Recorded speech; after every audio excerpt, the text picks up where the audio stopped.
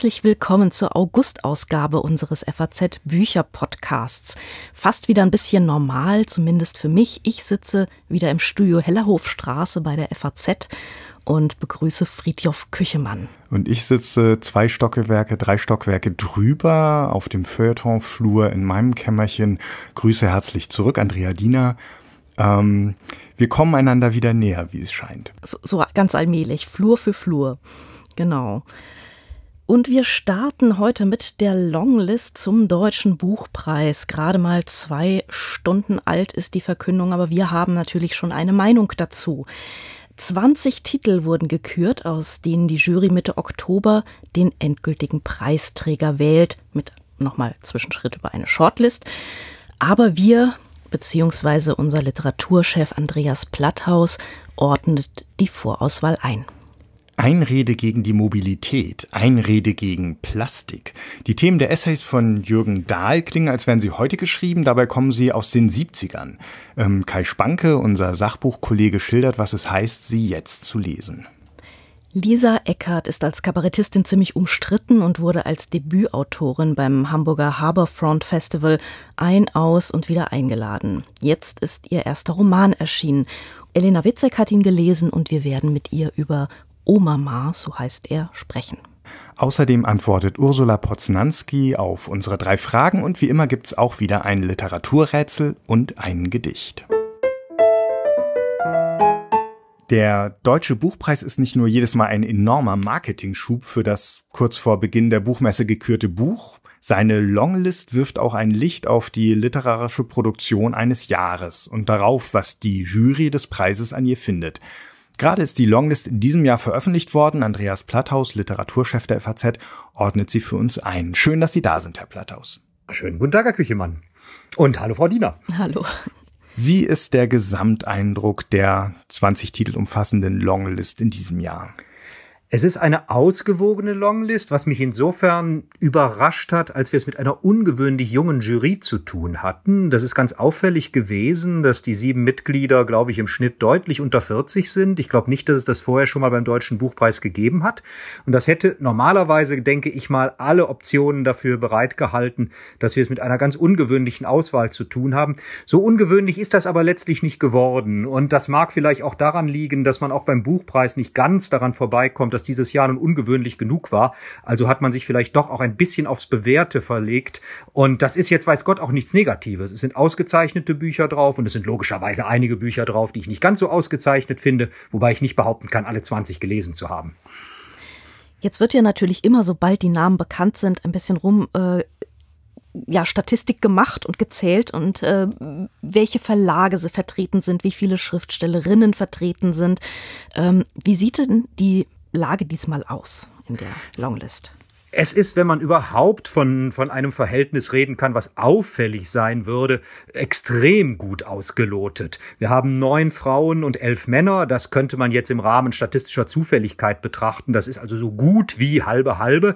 Genau halbe halbe ist es im Verhältnis von Frühjahrs- zu Herbsttiteln.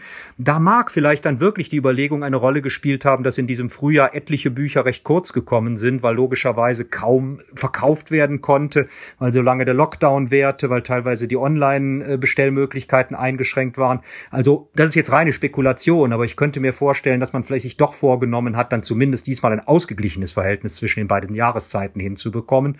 Und bei den Verlagen ist es auch wirklich breit gestreut. Wir reden über 16 Verlage, die insgesamt berücksichtigt worden sind. Davon vier, die jeweils zwei Nominierungen haben. Da hatten wir schon mal viel stärkere Schwerpunkte. Es gab mal ein Jahr, da waren, glaube ich, fünf Surkamp-Titel nominiert. Surkamp ist mit zweien dabei, Mattes und Seitz ist mit zweien dabei, Fischer ist mit zweien dabei und Kiepenheuer und Witsch. Und dementsprechend würde ich behaupten, ich habe selten eine so ausgewogene Liste gesehen. Gibt es Überraschungen auf dieser Longlist? Es sind einige Überraschungen drauf. Es sind äh, wie üblich erfreulicherweise ein paar Debütanten dabei. Ich nehme Pars pro Toto Olivia Wenzel, eine junge Autorin, die im Frühjahr bei Fischer ihren Roman Tausend Serpentinen Angst herausgebracht hat.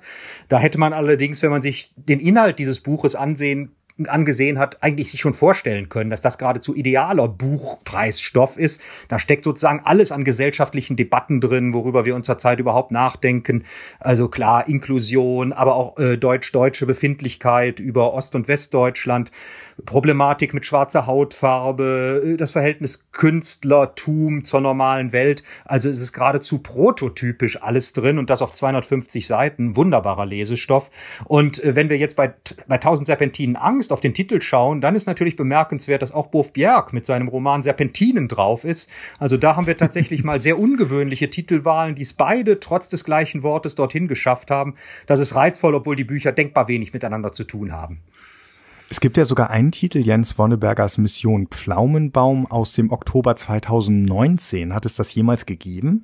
Ja, gab es, wobei ich weiß nicht, ich bin nicht sicher, ob es Oktober gab. Normalerweise sollte man eigentlich, wie ich gehört habe, immer das Ganze nach der letzten Buchmesse ansetzen. Das heißt, was zur letzten Buchmesse da war, dürfte eigentlich jetzt in diesem Jahr nicht berücksichtigt werden. Nun kann es natürlich durchaus sein, das habe ich nicht überprüft, dass die Mission Pflaumenbaum in der zweiten Oktoberhälfte des vergangenen Jahres erschienen ist und dann ist sie berechtigt, nominiert zu werden.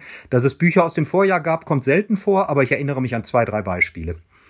Was mir ja noch aufgefallen ist, ganz persönlich, jedes Jahr ist ein Buch oder gefühlt jedes Jahr ist ein Buch von Christiane Wunicke dabei. Ich habe von der Frau ehrlich gesagt noch nie irgendetwas gelesen, aber anscheinend schreibt sie ja ein brillantes Buch nach dem nächsten. Können Sie mir sagen, was ich da verpasse? Wirklich exzellente Literatur. Und wenn Sie mich fragen würden, wen ich unter die ganz heißen Favoriten dieses Jahr setze, dann ist Christine Wunicke unbedingt dabei. Allein schon aus dem Aspekt heraus, dass sie so häufig nominiert worden ist. Wobei sie, glaube ich, bisher nur einmal, wenn ich richtig informiert bin, äh, über die Longlist hinausgekommen ist. Aber die Dame mit der bemalten Hand, das äh, erscheint erst in zwei, drei Wochen, ist aber ein wirklich ganz hinreißend, vor allem sehr, sehr witziger Roman, historischer Roman. Da denkt man, da haben wir viel gesehen.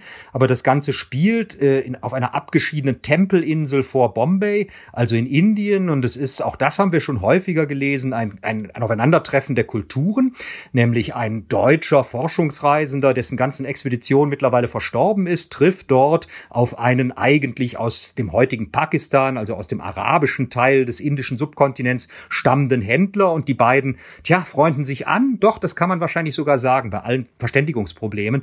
Das alles klingt so, als hätte man tatsächlich schon fünf oder sechs Romane diesbezüglich lesen können, aber wie Christine Wunnig Ricke das aufbaut und vor allem wie unglaublich witzig sie die Missverständnisse zwischen diesen beiden Seiten da äh, in Worte zu fassen versteht, das habe ich so geschickt dann doch selten gelesen. Und eigentlich sollte man ja denken, dass seit Daniel Kehlmanns Vermessung der Welt mit solchen Kulturkonfliktgeschichten mehr als genug herausgekommen ist. Aber der Roman, wow, der hat es wirklich in sich. Weitere Favoriten?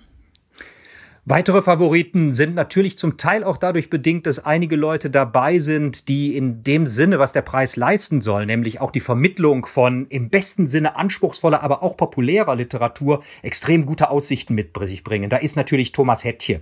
Herzfaden, das ist ein Roman über die Augsburger Puppenkiste. Und da ist natürlich eine ganze, wenn nicht vielleicht sogar zwei Generationen mit aufgewachsen und die sind im besten Buchkaufalter.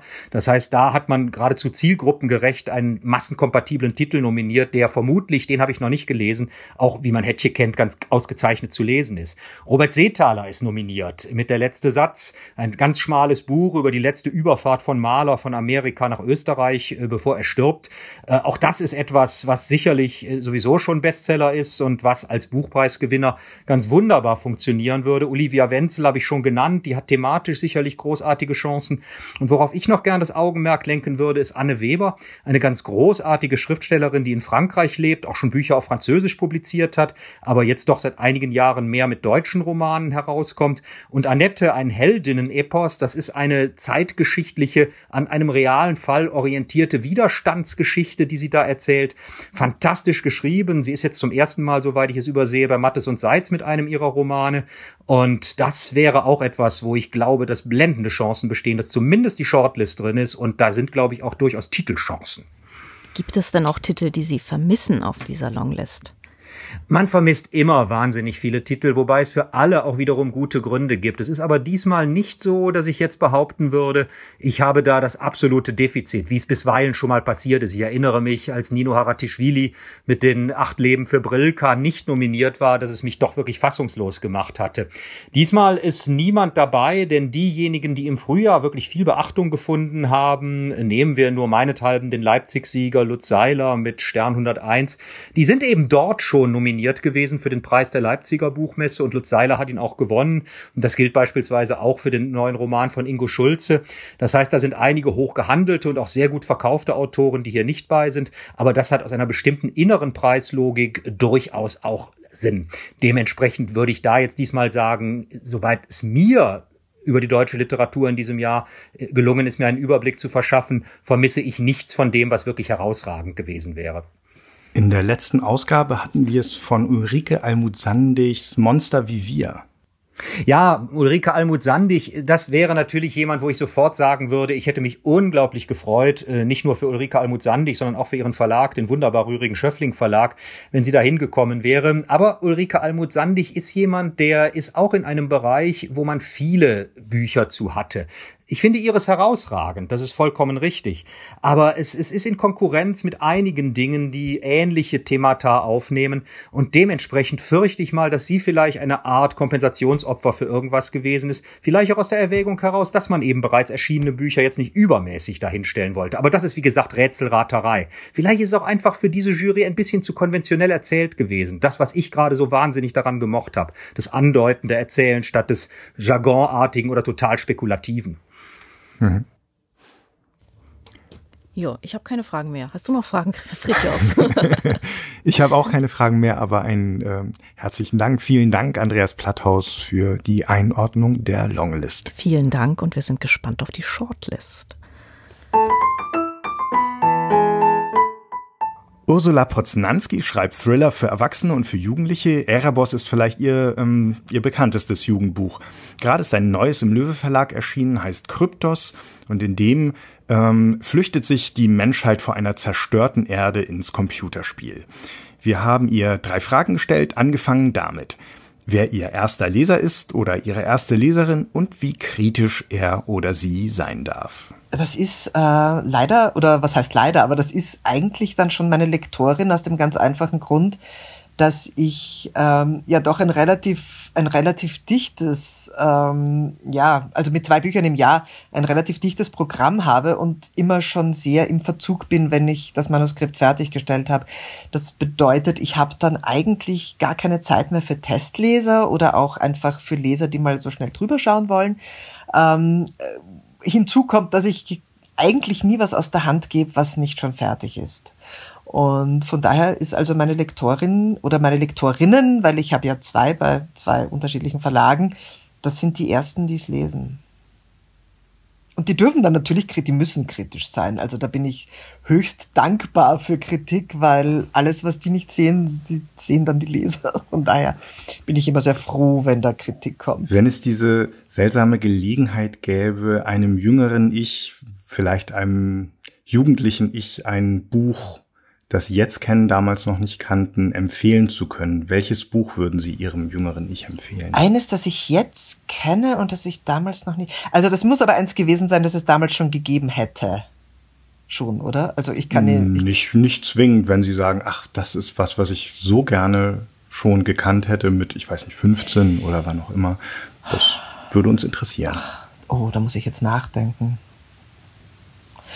Mit 15. Also mit 15 war ich so ein, ein da war ich so ein Allesfresser, ein, ein, ein Bücher-Allesfresser. Da war, also das ging von, von Hermann Hesse über, über, ach, ich weiß, also alles, aber bis hinunter zu Angelique, ja, also da war ich, das, da war ich komplett, ähm, unkritisch und alles, was ich in die Finger gekriegt habe, habe ich gelesen. Aber was hätte ich denn mit 15? Mit 15? Ähm, eventuell also ein Buch, das mich dann später sehr geprägt hat, oder also später, das mir unglaublich gefallen hat von der Erzählstimme her und das immer noch zu meinen Lieblingsbüchern gehört, ist von Peter Höeg, Fräulein Smillers Gespür für Schnee.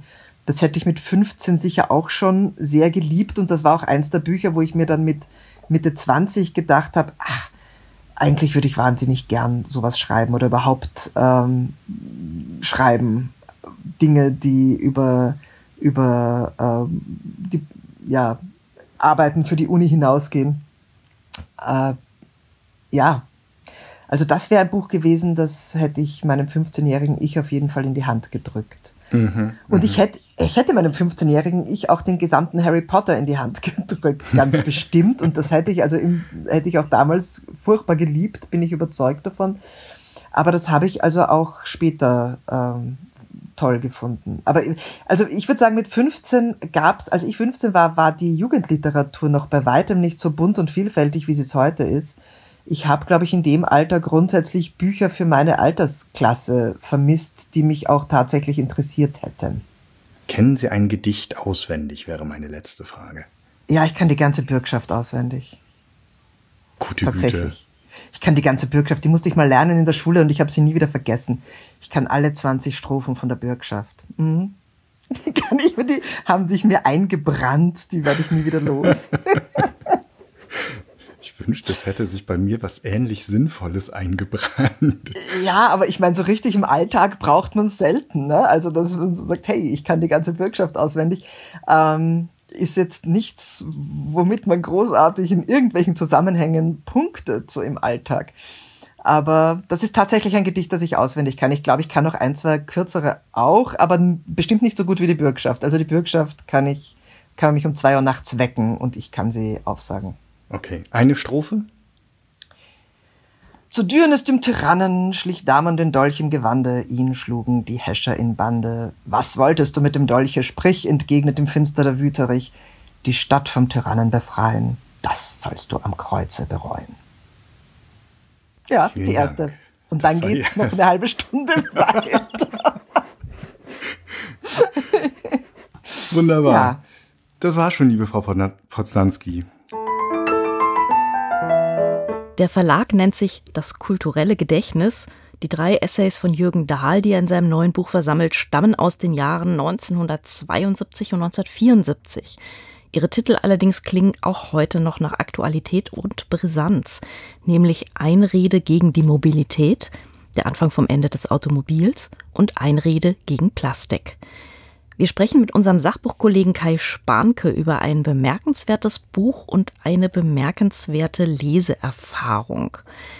Hallo Kai. Hi. Hi. Äh, was hat es denn mit dem Buch auf sich? Hat es jetzt einen geschickt gewählten Titel oder sind diese Themen wirklich zeitlos? Tatsächlich scheinen diese Themen zeitloser zu sein, als uns lieb sein sollte. Ähm, du hast es gerade schon gesagt, die kommen aus den 70ern, diese Texte. Es sind drei Essays, die sind fast 50 Jahre alt. Der Anfang vom Ende des Automobils ist tatsächlich sogar schon von 1971. Da wurde er im WDR gesendet und 72 dann gedruckt. Einrede gegen die Mobilität und Einrede gegen Plastik sind dann von 74. Und in allen drei Essays geht es um Fragen, die uns heute noch wahrscheinlich sogar noch viel akuter als damals beschäftigen, aber sie waren damals halt auch schon sehr aktuell. Mir ist dieser Jürgen Dahl bis jetzt gar nicht untergekommen. Wer ist das eigentlich? Was wissen wir über ihn? Das ist eigentlich ähm, eine Figur, die ziemlich vergessen ist. Äh, deswegen muss man auch mit Nachdruck den Verlag des kulturelle Gedächtnis loben. Ähm, Fußnote, den Ökom Verlag gleich mit, der verlegt ihn auch. Jürgen Dahl wurde 1929 in Mörs geboren er wurde im Buchhandel und im Verlag ausgebildet. Er arbeitete dann auch ganz lange als Buchhändler und dann auch als Schriftsteller und Journalist. Er war sehr umtriebig und hat sich dann immer weiter in so eine Richtung entwickelt, die man im Englischen vielleicht mit dem Begriff quirky, verschroben mhm. irgendwie äh, charakterisieren könnte. Am Ende, 2001 ist er gestorben, ab Mitte der 80er Jahre, also am Ende seines Lebens, äh, hat er ähm, vor allem über Pflanzen, über Gärten und über Ökologie geschrieben. Er hat Vorträge geschrieben, die vom WDR gesammelt wurden, äh, gesendet wurden und er hat Rätsel, Limericks und alte Komplimente gesammelt. Das ist ja eine interessante Mischung. Hm. Ähm, jetzt sind Mobilität und Plastik zwei Bereiche, in denen sich in den vergangenen 50 Jahren, sollte man meinen, doch einiges getan haben sollte. Ähm, was bringt das denn heute diese Gedanken aus den frühen 70ern zu lesen und sind da irgendwie neue Argumente oder sind das einfach immer noch die gleichen? Vieles ist, vieles ist tatsächlich ähm, absolut gleich geblieben. Also nur mal ein paar Beispiele. Dahl spricht äh, von ähm, einer Verdichtung des Straßennetzes. Er spricht von Lärm und Gestank. Er spricht vom Bronchialkarzinomen, äh, von einem mit Autos verbundenen Prestigebedürfnis, äh, von der Zerstörung der Umwelt, äh, von der Kilometerpauschale, die nichts anderes sei als eine Belohnung dafür, dass man sich äh, mit dem Wagen zur Arbeit bewegt. Und ähm, letztlich bringt er ganz viel auf, was heute immer noch ähm, diskutiert wird. Ich lese einfach mal äh, als Zitat den Einstieg von Einrede gegen die Mobilität. Seit das Auto ins Gerede gekommen ist, hört man von allen Seiten Empfehlungen, wie die Verkehrsmisere zu steuern sei. Mit gutem Willen oder mit hohen Abgaben, mit vernünftiger Planung oder mit einem der brandneuen, garantiert unschädlichen Beförderungssysteme, die den Ingenieuren dauernd einfallen. All diesen Alternativvorschlägen zum gegenwärtigen Individualverkehr ist gemeinsam, dass sie stillschweigend von der Voraussetzung ausgehen, das derzeit praktizierte Maß an Fortbewegung pro Kopf und Jahr müsse unbedingt erhalten bleiben und dies sei technisch und wirtschaftlich möglich.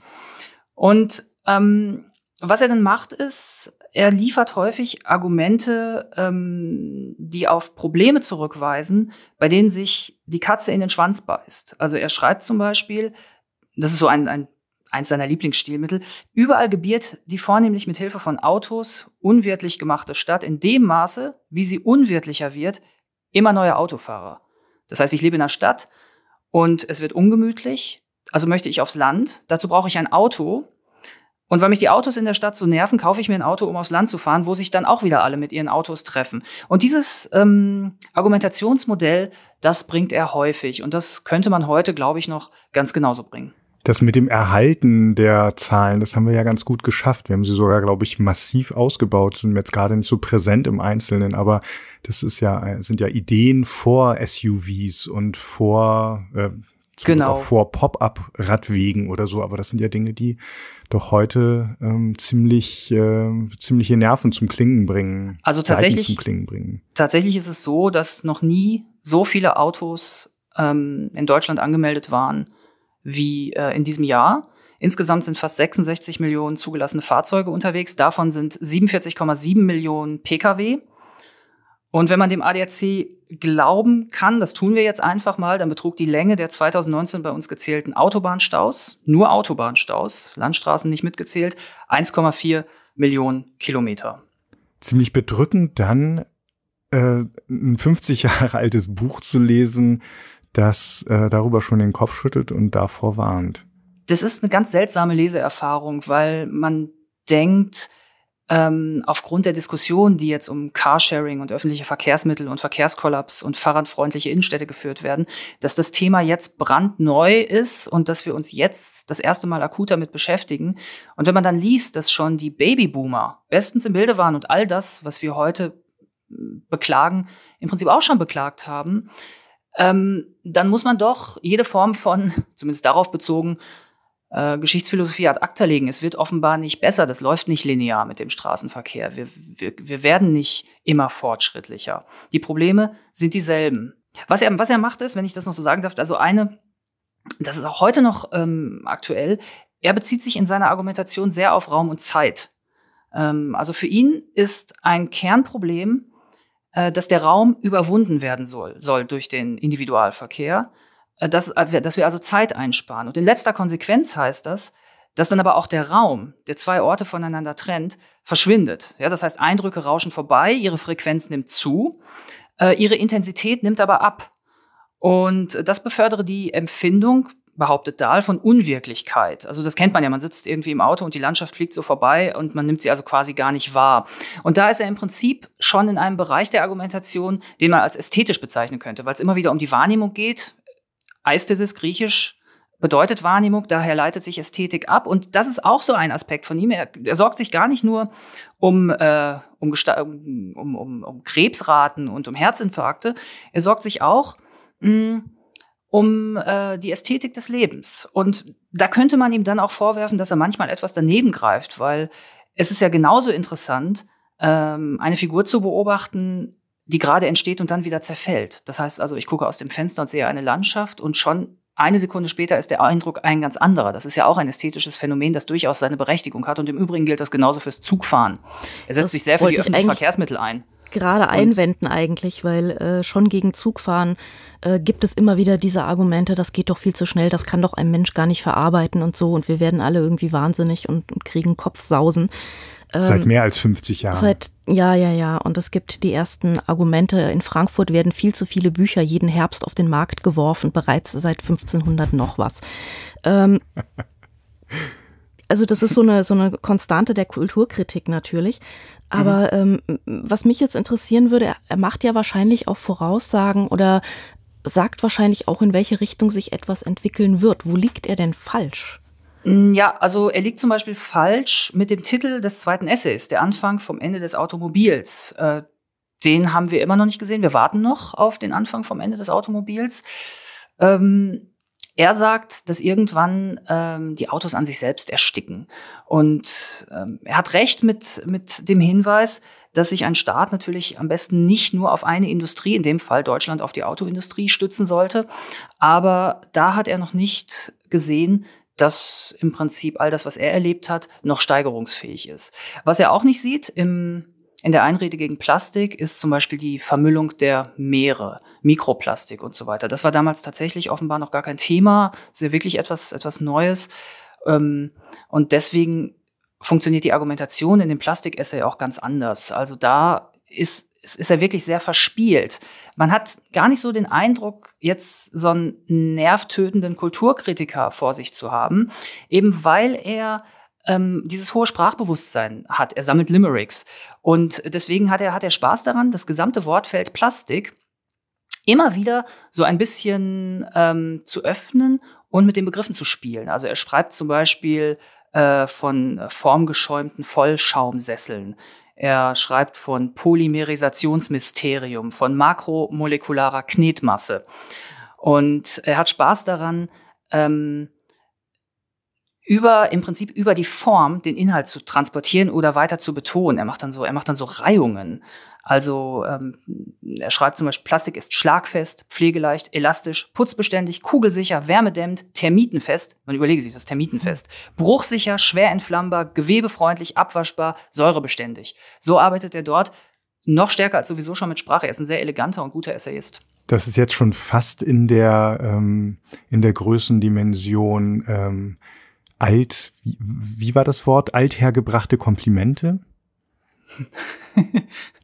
Hast du noch weitere althergebrachte Komplimente für Jürgen Dahl, für den Verlag Das kulturelle Gedächtnis, für dieses Buch?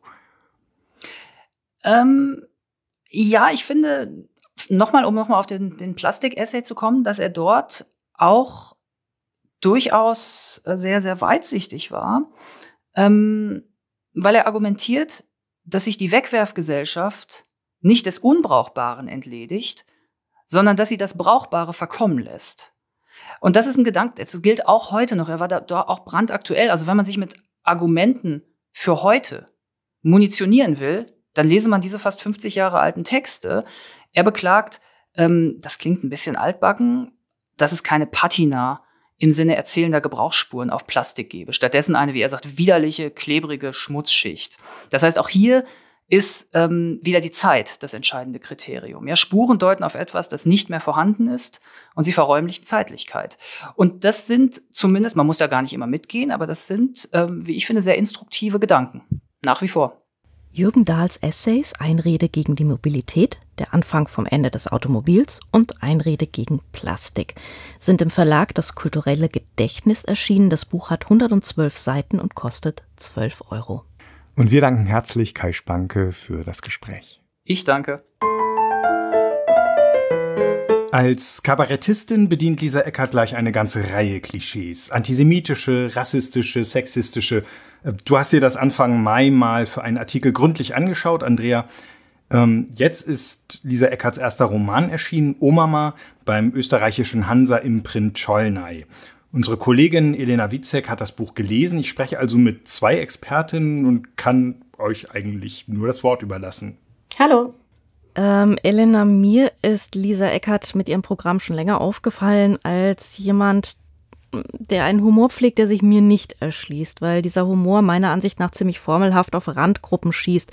Also nicht nur auf Juden, was in, für eine ziemliche Welle sorgte, sondern auch auf andere Nationalitäten, auf Transpersonen, also eigentlich auf alles, was irgendwie aus der Norm fällt. Ähm, jetzt sagen Verteidiger natürlich immer, Lisa Eckert ist eine Kunstfigur, nämlich eine Kunstfigur der Österreicherin Lisa Lasselsberger, so heißt sie eigentlich. Aber ähm, Elena, wenn wir jetzt zum Roman kommen, wer hat diesen Roman eigentlich geschrieben? Lisa Eckert oder Lisa Lasselsberger? Ja, das ist eine schwierige Frage. Der, die Autorin ist natürlich Lisa Eckert, so steht es ja vorne drauf. Wir wissen aber nicht, ob die, dass die wahre Geschichte der wahren Großmutter der Autorin ist, die da ähm, erzählt wird. Ähm, das ist im Grunde auch unerheblich. Es ist aber davon auszugehen, dass das nicht so ist. Ähm, Lisa Eckert hat sich ja immer wieder ähm, hat immer wieder den Authentizitätskult der Gegenwart angeprangert und ähm, deshalb ist es jetzt nicht so ganz klar, spricht da Lisa Lasselsberger, die einige Jahre bei ihren Großeltern aufgewachsen ist, also schon auch ähm, Gründe hätte, diese Geschichte in dieser Form aufzuschreiben, oder die ähm, Kabarettistin Lisa Eckert. Ähm, kommen wir mal zu der Geschichte. Worum geht es? Es geht um die Oma Helga. So viel ist klar. Und dann kommen die Russen. Und was passiert dann? Genau. Also es geht um das Leben dieser Großmutter Helga, die nach dem Krieg so im Jugendalter ist und mit ihrer schönen Schwester Inge und ihren Eltern in der österreichischen Provinz lebt. Und dann kommen die Russen und ähm, durch die Russen wird das Leben allerdings nur unwesentlich härter, ähm, als es ohnehin schon ist. Es passieren dann allerlei skurrile, tragikomische Sachen. Sie soll zum Beispiel mit dem Dorfwirt verheiratet werden, damit der Vater einer Gefängnisstrafe entgehen kann. Dann verliebt sie sich aber in den schönen Sohn der Wirtin und heiratet. Und am Ende, also im dritten Teil, insgesamt gibt es drei Teile, erfährt man noch so einiges über die Beziehung zwischen der Erzählerin und ihrer Großmutter äh, und deren Koch- und Backkünste. Mhm. Ähm, es gab ja um die Autorin eine ziemliche Welle, nämlich ähm, sie hat, hat einen Auftritt in Hamburg gehabt, der wurde abgesagt, dann zugesagt, dann wieder abgesagt, also eine ziemlich unschöne Eierei. Außerdem haben sich die gemeinsam mit ihr eingeladenen Autoren geweigert, mit Eckert auf einer Bühne aufzutreten. Wenn man sich jetzt dieses Buch anguckt, ist die Aufregung da eigentlich gerechtfertigt? Das finde ich überhaupt nicht. Ich finde, ähm, es hat diesen Skandal nicht verdient und genauso wenig diese aufgeregte Erwartung, die mit, mit dem Erscheinen jetzt einhergegangen ist. Es ist einfach eine groteske Dorffamiliengeschichte, aber man muss schon sagen, es ist ein ambitioniertes Buch. Ambitioniert? Ja, also es ist streckenweise ähm, sehr schwarzhumorig lustig, ähm, oft arten Szenen so komplett aus, alle fallen übereinander her. Ähm, das hat mich so ein bisschen an äh, Donald Antrim erinnert und seinen Roman Welt. Rob Mr. Robinson für eine bessere Welt. Ähm, es ist auch gut beobachtet und, ähm, und, und äh, komplex erzählt. Ähm, dann hat sie natürlich die Zeit, in der es spielt, auch geschickt gewählt, weil jeder bekommt was ab und alle Protagonisten quälen sich gegenseitig und das lässt sich eben ganz gut damit begründen, dass die Menschen ums Überleben kämpfen in dieser Zeit und sich damit auch selbst am nächsten sind. Man gewöhnt sich also Seite für Seite an diese Bösartigkeit. Ich habe jetzt bisher nur die Leseprobe gelesen, das sind die ersten 30 Seiten ungefähr. Ähm, ich war danach eigentlich komplett angenervt, muss ich gestehen. Ähm, erstens von der Geschwätzigkeit dieses Buches und ähm, vor allem dadurch, dass diese Einschübe, die sie immer wieder macht, ähm, sich weder auf die Person noch auf die Geschichte beziehen, sondern sie immer so, es wird dann immer so abgehoben. Also es geht um die Oma und so weiter und dann gibt es einen Einschub, der geht aber um die Oma an sich und dann kommt eigentlich ein Stück Kabarettprogramm und dann geht es wieder in der Geschichte weiter. Also ich weiß nicht, teilst du diesen Eindruck von mir? Ja, das kann ich sehr gut verstehen. Also das Buch hat ja auch immerhin 380 Seiten. Am Anfang habe ich mich wirklich noch um Verständnis bemüht, aber es wird dann zu, gerade zum Ende hin wahnsinnig pointengetrieben und gerade, wie du auch sagst, geschwätzig. Also es geht darum, wie gut die Großmutter, die zwischenzeitlich noch Lebensmittel über die Grenze schmuggelte, backen und putzen kann und ähm, und es wird einfach, äh, es wird so ähm, komplex und teilweise überladen, dass man dem Geschehen eigentlich gar nicht mehr so richtig folgen kann und sich einfach nur wieder eine Rückkehr zum eigentlichen Erzählstrang wünscht. Und dann sind da natürlich noch diese essayistischen Betrachtungen vom Dorf damals und heute und dem, was sie so als postmoderne Paranoia bezeichnet. Also da geht ganz klar die Ansicht hervor, die man ja auch von ihren Bühnenauftritten kennt, wie du es ja auch schon beschrieben hast, nach dem Motto, stellt euch nicht so an, das ganze Mitgefühl für Minderheiten, das gab es ja früher auch nicht und früher ging es den Menschen ähm, schlechter. Da hat man noch ordentlich und geprügelt und so, ne? So ist es. Genau, das war noch eine ehrliche Sache. Und sie spielt sehr stark mit, äh, mit diesen österreichischen ähm, Begrifflichkeiten und diesen äh, Traditionen. Und ich finde, sie übertreibt das einfach. Das wird so, ähm, das wird so überbordend, dass man es am Ende kaum noch aushält. Es geht darin natürlich auch um, um vor allem um Frauen eigentlich. Ähm, es gibt dann auch immer so ein bisschen die Überlegung, ist das jetzt ein feministischer Roman oder ist das kein feministischer Roman? Ich war dann schon ein bisschen abgeturnt, ehrlich gesagt, als ich die ähm, ältere Schwester, die besagte Oma, das war die junge Helga, ähm, wie die dann beleidigt ist, dass sie nicht von den Russen vergewaltigt wird, die dann da anrücken, ja, sondern sich dann irgendwie verschmäht fühlt. Ähm, Friedhof rollt gegenüber mit den Augen. genau, also da habe ich ehrlich gesagt dann schon ein bisschen ein inhaltliches Problem, weil ähm, dann doch dann ein wirklich ernstes Thema eigentlich für so Pointen verschenkt wird. Ähm, wie fandst du das? Die Frauenrolle ist eine ganz eigentümliche. Das ist sehr interessant. Man ähm, kommt den Frauen viel näher als den Männern und die Frauen sind viel, viel stärker. Also die Männer sind meistens nur so sitzen dabei und haben sich nicht, haben nicht wirklich was beizutragen. Die Frauen sind aber oft einfach auch ähm, sehr fies, fies zueinander und ähm, davon getrieben, ihren Vorteil eben durchzusetzen. Und das bedeutet auch, sich gegenüber anderen Frauen bei dem äh, Kampf oder dem Wettstreit um irgendwelche Männer durchzusetzen. Ähm, damit kommt man denen natürlich auch wieder nicht wirklich nah und hat auch nicht das Gefühl, dass sie, dass sie als Vorbilder agieren können. Wir haben uns ja beide auch einige Videos aus Recherchezwecken anschauen dürfen, du und ich. Ähm, wie weit geht denn der Roman über das Bühnenprogramm, das sie ja immer hat, äh, oder das Fernsehbühnenprogramm? Macht der Roman mehr oder ist das eigentlich ein ausgeschriebenes Kabarett? Mm, das muss man, glaube ich, von Kapitel zu Kapitel neu bewerten. Es ist, wie ich ja schon sagte, sehr pointengetrieben. Es gibt immer wieder so kurze Anekdoten, ähm, die stark an ihr Bühnenprogramm erinnern. Aber dann ist es eben auch wieder so, dass diese Dorfgeschichte schon relativ konsistent durcherzählt wird. Und ähm, damit äh, sie sich ja einfach, sie begibt sich in eine andere Zeit, sie begibt sich in äh, auf diese komplett fiktionale Ebene. Und ich hatte jetzt schon den Eindruck, dass da versucht wird, ähm, noch über ihr Bühnenprogramm hinauszugehen und ähm, sich eben auch damit äh, noch eine zusätzliche Ebene der, der ähm, also ein Argument ähm, zu verschaffen, ihre, ähm, ihre Standpunkte durchzusetzen. Sie hat allerdings in einem Interview mit dem Standard gesagt, ähm, ihr Roman sei ein oder solle ein semantischer Terrorangriff sein und die Leute zum ähm, Überinterpretieren animieren. Also das Jetzt ist schon auch was, was sie dann Augen. sucht. ja, sehr ein semantischer Terrorangriff. Ähm, hat das bei dir funktioniert, Elena? Ja, man fragt sich natürlich teilweise schon, was will sie damit? Und dann kommen auch wieder diese rassistischen Stereotype und man, man, man ärgert mhm. sich. Und dann denkt man sich, nein, das ist ja genau das, was sie damit will. Also es ist schon geschickt angelegt. Ähm, ich finde es aber, wie, wie gesagt, extrem anstrengend zu lesen.